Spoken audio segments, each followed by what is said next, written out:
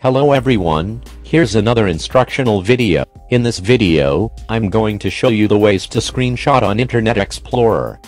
For the first solution, I'm going to use the Windows default print screen function. To use this app, simply open a site that you want to capture, then press the print screen button, this will save the image on the clipboard.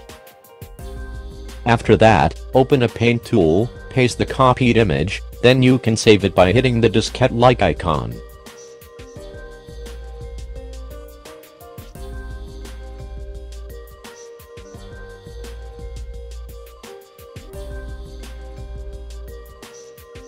For the second solution, I'm going to use a reliable web-based application called Web Page Screenshot. To use this app, go to this page Scroll down till you see the web page screenshot tool, or go directly to its main page.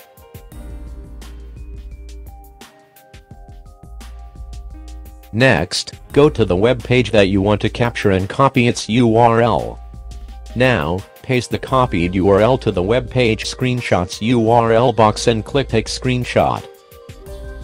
Just wait for a moment, and an image preview of your web screenshot will appear, from here you can set the image quality and format that you want for your screenshot. After that, you can either save your image on desktop,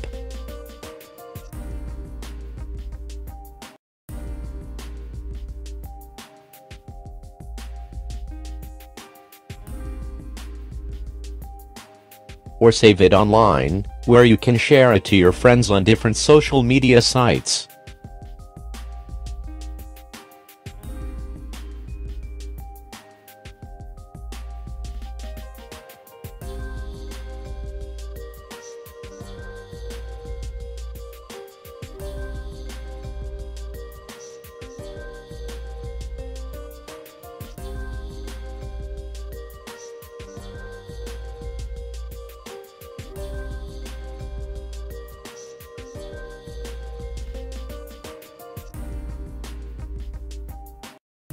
For the third solution, I will use plugin for browser called Fireshot.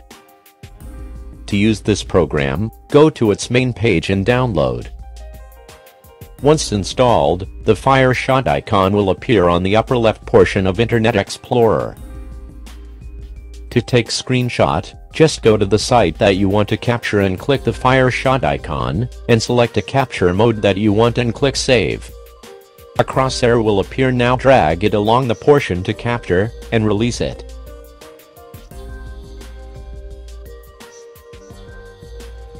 You can then save it afterwards. Now you can take screenshot on your Internet Explorer anytime you want. And that's it for now, thanks for watching.